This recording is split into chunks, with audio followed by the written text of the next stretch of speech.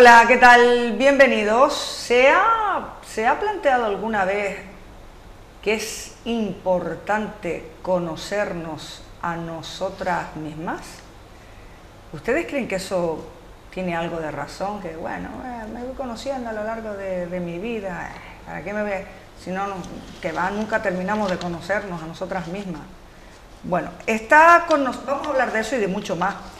Eh, está con nosotros, por un lado, Ángeles Araya, trabajadora social del Centro de Salud de Corralejo.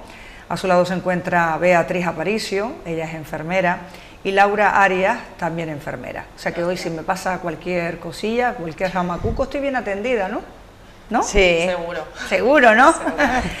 bueno, eh, ahora mismo están impartiendo un taller de crecimiento personal, no sé si es exactamente cómo se llama, en el municipio de La Oliva.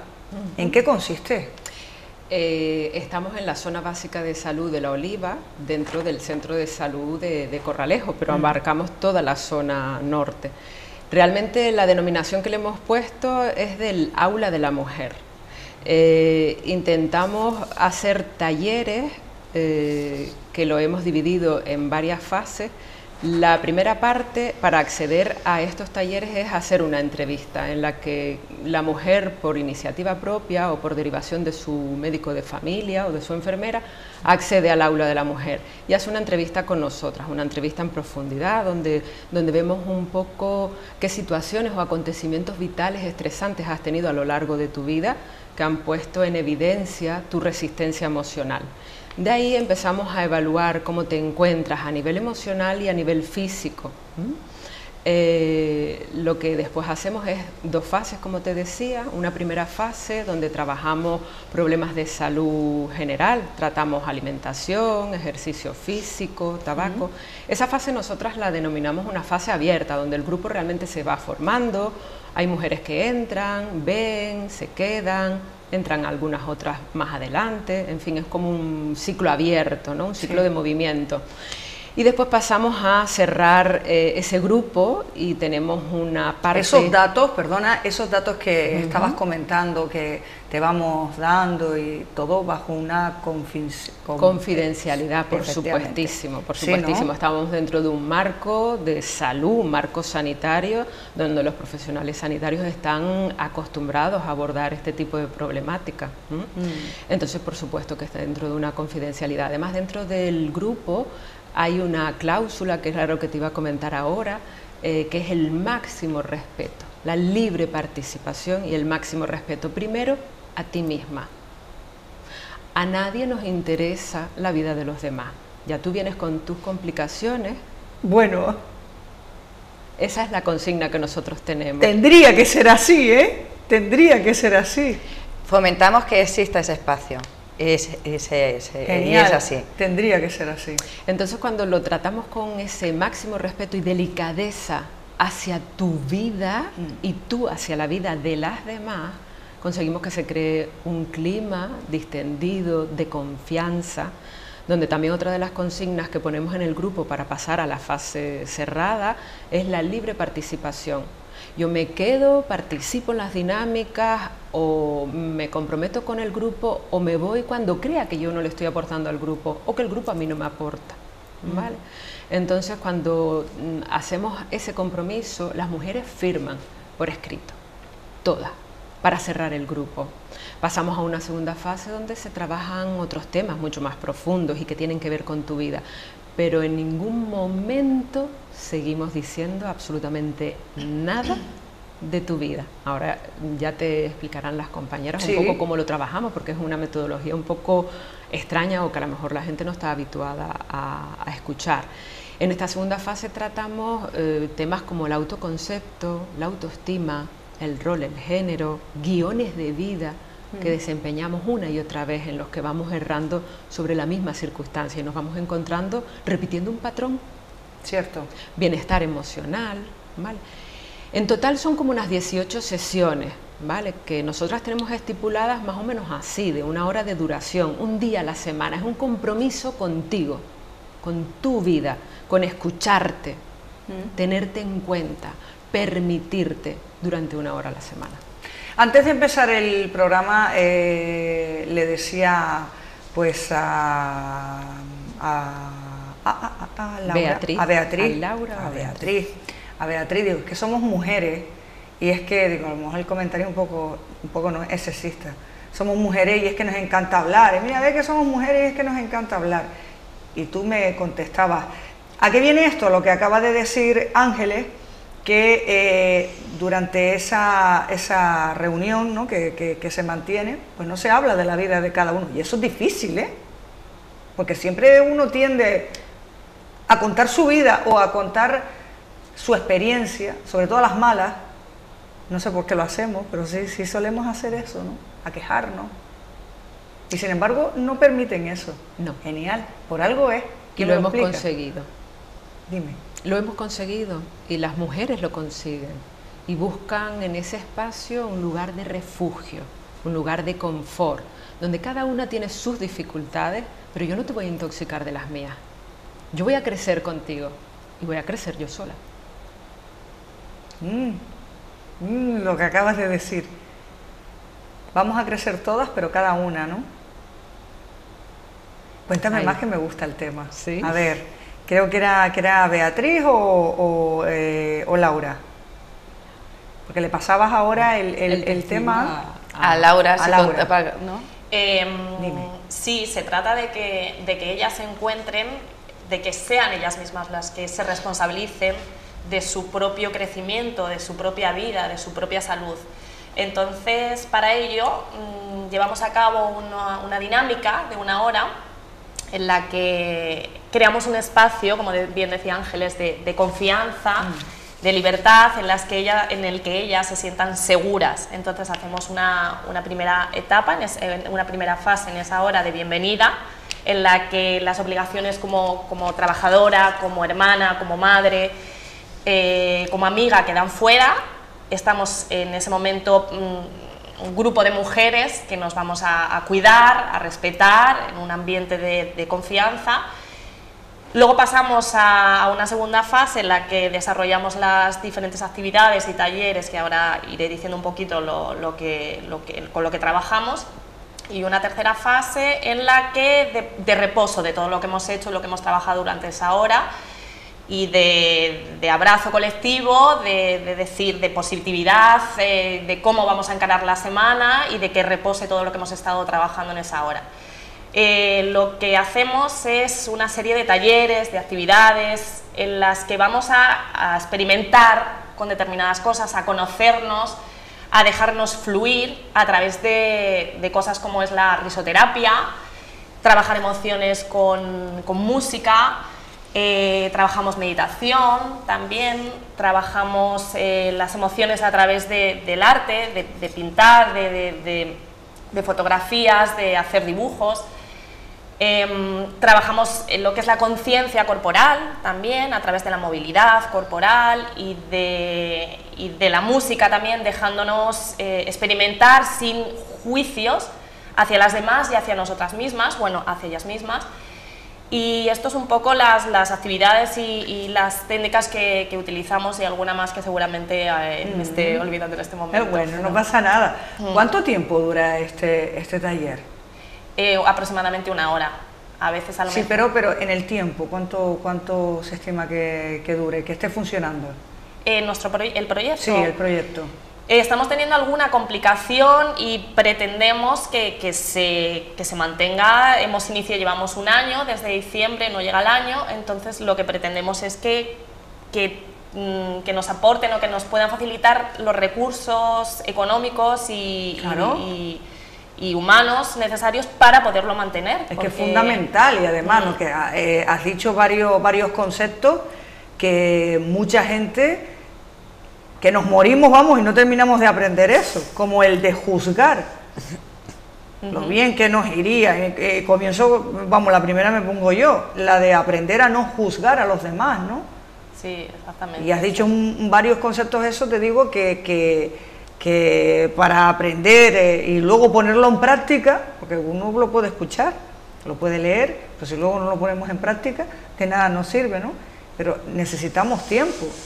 Y este, este, este taller, eh, yo lo veo fundamental. Eso se tiene que mantener, sí, ¿O sí? ¿Por qué, por qué, por qué, surge esto? Por algo es, ¿no? Bueno, el, el, programa que hemos hecho surge un poco también de la necesidad, yo creo, a nivel personal, de estar las tres en un momento donde eh, al final te conectas de alguna manera y, estamos en un proceso, digamos, también de cambio, porque todo al final es cambio ¿no? y evolución. Con esto nosotros también estamos cambiando mucho y aprendiendo mucho también de ellas. Entonces es un feedback donde todo el mundo se nutre. Y surge de, una inquietud a nivel personal, donde al final hay miradas y decimos, oye, ¿por qué no lo hacemos? ¿Por qué no nos atrevemos a, darle estas herramientas a las mujeres? Y bueno, al final lo que nosotras pretendemos también es, el, objetivo es que ellas mismas encuentren sus herramientas para eh, gestionar su, salud y su vida. En atención primaria eh, se trabaja con y para la comunidad. Entonces, eh, la mujer tiene que ser uno de los objetivos clave de esta comunidad. Es la que educa, la que mantiene, la que sostiene, a muchos niveles la mujer eh, hace un gran trabajo que no está del todo bien valorado o mm, suficientemente visto. Entonces, el, objetivo nuestro es que ellas, ya que se dedican a cuidar a, mucho, a muchos niveles, sean también, pues eso, ese ratito de esa hora a la semana es para ellas, para cuidarse ellas y para después poder salir a la calle y salir a su vida diaria con mm. otra con otra energía a nivel de, oye, yo también he tenido mi tiempo y también me han cuidado y me doy cuenta de que la primera que tiene que hacer eh, por mí soy yo. Nadie va a, a, venir a mi casa a sacarme, a decirme, esto es la vida y mira qué bien te cuido. Para que ellas se hagan un poco responsables de su salud y es muy bonito porque se dan cuenta de que tienen ese derecho claro, de claro que sí, estoy totalmente de acuerdo contigo. Hay muchos hombres ahora mismo que te están viendo y dirán, bueno, ya estamos con las mismas de siempre, estas feministas... Eso está muy bien eh, también. Ah, estas feministas ya estamos ya con el empoderamiento de la mujer, ya estamos ya con lo mismo, con la misma historia, pero siempre, pero ¿por qué? Pero si ella, oh, es que bueno, por algo hay que empezar, también es verdad, y el que mucho abarca, poco, poco puede llegar a hacer. Nosotras queremos, con este proyecto, hemos empezado por el Centro de Salud de, ¿no? de La Oliva, ¿de acuerdo? En la zona del norte, en Corralejo. Nuestro objetivo era, en principio, ir poco a poco, pero es verdad que cuando tú expones este proyecto, resulta que mucha gente empieza a demandarlo. Y llega un momento donde decimos, wow, eh, esto, esto está cogiendo, mm, ¿no? está cogiendo ya mucho ámbito, está abarcando mucho, donde nosotros tampoco podemos pretender eh, tener, porque se puede trabajar con esto a muchos niveles, se puede trabajar también con hombres, con mujeres, en grupos mixtos, con personas más mayores, con adolescentes, pero en algo que queríamos centrarnos. Y para nosotras era fundamental el tema de abordar a la mujer, porque la mujer, repito, es la que no nos damos cuenta, pero es un sistema matriarcal donde es la mujer para todo. Entonces queremos que ellas tengan ese momento de poder cuidarse. Eh, eh, ¿Se han dado cuenta ustedes, verdad? ¿Cómo nos exigimos? Sí, somos las, primeras criticonas, las primeras que no estamos a gusto, las primeras que nos, nos fustigamos con mucho. Entonces, como somos mujeres, pues también a lo mejor hemos partido de eso y no pasa nada por decir, oye, pues yo como mujer he tenido estas dificultades en la vida o veo que mis, ¿no? mis, compañeras están igual que yo en los mismos procesos, vamos a intentar ayudarlas y no pasa nada. A ver, esto se está haciendo, como bien decías, en el Centro de Salud en Corralejo, eh, para las mujeres del municipio de La Oliva, pero claro, ahora mismo nos están viendo desde otros puntos muchas mujeres que dicen, oye, qué fantástico, yo lo quiero también en mi municipio. Venimos preparadas para ello. Queríamos hacer una invitación formal a todas las que nos estén escuchando porque en noviembre queremos hacer unas jornadas de puertas abiertas.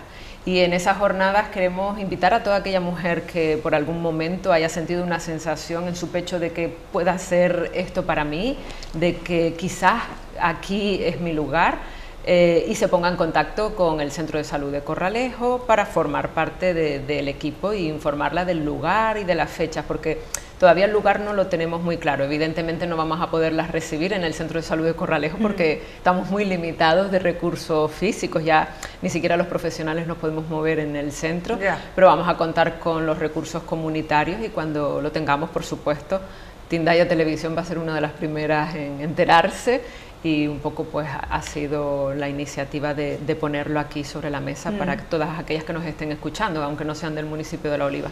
Bien, perfecto, menos mal, ¿verdad? es una muy buena noticia. Oye, eh, leía, eh, porque lógicamente Ángeles, no sé si te quieres documentar más del tema, eh, me nombrabas a una persona y demás, y a través del YouTube, bueno, navegando por internet por ahí, Vi esta frase, la voy a leer tal cual para no equivocarme, recuperar el poder de conocimiento personal y cambiar nuestra vida. Yo creo que esto... Fina Sanz. Sí, resume y mucho, ¿no? Y, la importancia que tiene esta frase, ¿no? Sí, sí, y además es la base de nuestro, de nuestro trabajo. Todo lo que te hemos dicho habla del poder, lo que decía Bea, de recuperar cada una su propio poder para gestionar su propia vida y su propia salud nosotros nos basamos un poco también en, el buen trato. ¿no? Últimamente en la sociedad se dan situaciones en las que el maltrato, eh, las malas voces, las miradas, eh, los insultos y ese maltrato es algo que queda palpable, esa violencia, incluso en los jóvenes. Y nosotros nos basamos en el buen trato en el que no pasa nada porque mires tiernamente a una persona, en el porque te empatices con ella, en el que te sientas de una determinada manera. Entonces, eh, todo este buen trato, esta filosofía del buen trato está basada en la terapia del reencuentro, que ya si quieres, Beatriz, que es nuestra terapeuta en la terapia del reencuentro con, que se formó en, Valencia, te, puede comentar un poco más. Bueno, hice el máster de autoconocimiento en terapia de reencuentro con Fina Sanz y bueno, lo que se trata sobre todo es de empoderarse de una vida y cuando dices, ¿y eso cómo se hace? ¿no? Sí, te pregunto. claro, ¿y eso, cómo, se, hace? Porque yo estoy aquí en el sofá de mi casa y cómo llego yo a ser una mujer libre, empoderarme de mi vida y tener buen trato conmigo misma. Entonces hace a través de dinámicas, como comentaba Laura, a través de dinámicas y a través de, de ejercicios, sobre todo con el cuerpo. Y es volver al cuerpo, el volver a... estamos alineados ¿no? de, nuestro cuerpo y estamos totalmente para afuera. Cuando una vuelve al cuerpo, vuelve a las heridas que tiene o cómo quiere tratarse. Y se trata de, empezar por lo más mínimo que es eh, el cuerpo y cuidarse y tratarlo bien y tratarse con respeto y como decíamos, de no mirarnos al espejo y ser eh, exigentes con nosotras, ni criticar, ni mirar. Bueno, entonces la, terapia de reencuentro eh, se trata de, bueno, se hacían muchas dinámicas, pero sobre todo estaba enfocada al volver al cuerpo y a tratarse bien, ya qué sentimos y qué, cómo estamos respirando, cuál es la postura que tengo, estoy ahora mismo así, estoy nerviosa, o puedo decir, bueno, es que si me relajo, uff, cómo cambian las cosas. Entonces esas pequeñas técnicas son las que las enseñamos a ellas, porque realmente tampoco es un sitio donde ellas vayan a, Dios mío, es que yo no quiero ir para allá porque a ver si lo voy a pasar mal o eh, me van a hacer sufrir o tengo que soltar mi vida y, ay, Dios mío, el drama. No, vamos a hacer talleres para pasarlo bien, para divertirnos, para desde el placer, porque también se puede aprender y se aprende más desde el placer que desde la violencia. Entonces, constantemente. Todo lo que intentamos hacer es desde el buen trato hacia ellas mismas. Porque claro, ¿qué, qué, pasa con aquellas mujeres que, eh, que son muy tímidas, que no quieren compartir nada de... Bueno, de su vida está claro que no lo van a compartir. Claro, ¿no? sí. Cada uno tiene su tiempo y cada uno tiene su ritmo. Y eso es perfecto y maravilloso, porque hay gente que a lo mejor es más entregada y hay gente que, que está ¿no? como decías tú, más tímida, pero bloqueada. esa persona que tiene ese bloqueo en ese momento que puede empezar a cambiar, para ella se mueve un mundo. Nadie tiene, no juzgamos, cada uno es libre y es perfecto y maravilloso, cada uno a su tiempo. Mm. La salud también la nombran. ¿A qué se refieren cuando hablamos de salud? ¿De comer bien, de comer sano, de... En todos los sentidos, la salud, según la OMS, ¿no? y según el sistema sanitario que tenemos, implica eh, el, cuidado a través de, que comas bien, que hagas deporte, hábitos saludables, que no fumas, que no bebas, y también cuenta con la salud emocional y espiritual que esa es una parte donde no puedes llegar. Hay muchos momentos de tu vida donde tú vas al médico y no puede darte una pastilla porque eh, tu novio te ha dejado, estás sin trabajo, estás aburrida, todas esas cosas de, Ay, Dios mío, ¿y ahora qué hago? Porque no puedo más, tengo que cuidar a mi madre, esto, otro. No hay una pastilla, no hay un, un paracetamol que te cure eso. ¿Vale? es que mi marido no me hace caso, mis hijos me gritan, mi madre me exige.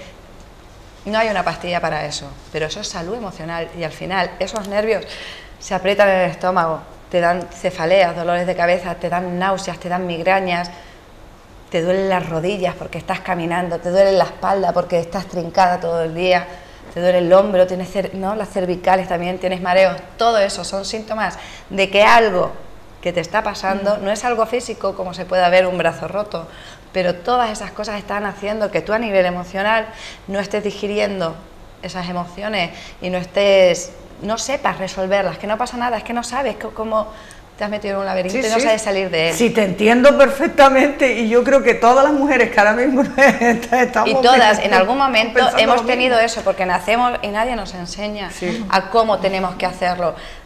Y esas cosas, esas herramientas las tenemos dentro, porque las tenemos, pero no sabemos cómo sacarlas adelante. Y ahí es donde nosotras le decimos, toma, esto es tuyo, esto es tuyo. Tú ahora coge de tus herramientas y poco a poco, a tu ritmo, ve eh, ¿no? disolviendo esos pequeños nudos o resolviendo tu vida a tu manera. No es más. Me voy a echar piedra sobre mi mismo tejado por trabajar en donde trabajo, pero la publicidad eh, la utilización de la mujer muchos spots publicitarios, eh, la televisión,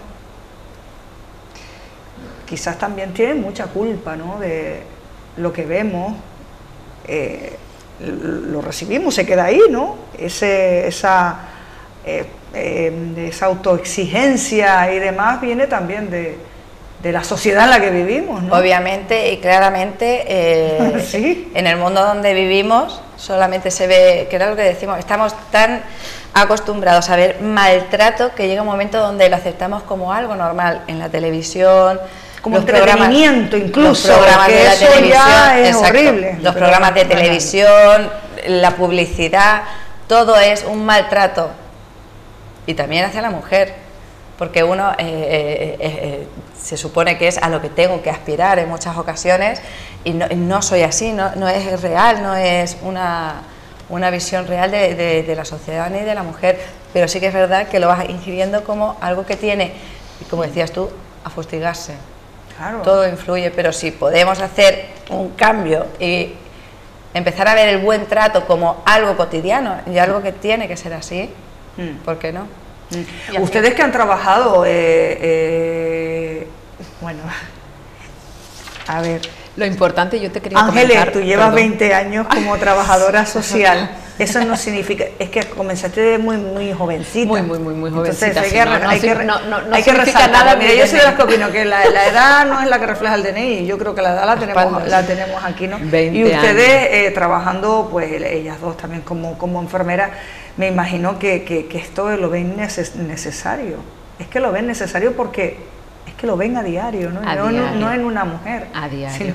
a diario, a diario. Y a colación de lo que comentas y de lo que estaba comentando mm. Beatriz antes, eh, a diario y, a nivel generalizado. Entonces, eh, los cambios se introducen en tu microcosmos, ¿no? en tu ámbito de influencia. Cuando introducimos pequeños cambios en mí, todo lo que me rodea también cambia. Eso es verdad. Y eso es un poco lo que nosotros nos planteamos. Esos pequeños cambios son los que al final hacen que la rueda gire en otro sentido. Mm. Te quería poner un relato que, que, nos ha hecho una de las mujeres que participa en el aula desde diciembre del año pasado. Sí, por favor, que no puedo terminar el programa sin ese relato. Así que vamos, vamos a saco con él. Eh, aprovechamos para saludar a las chicas de Corralejo eh, y empiezo con, con, el relato. A mí la verdad es que se me ponen los pelos de punta.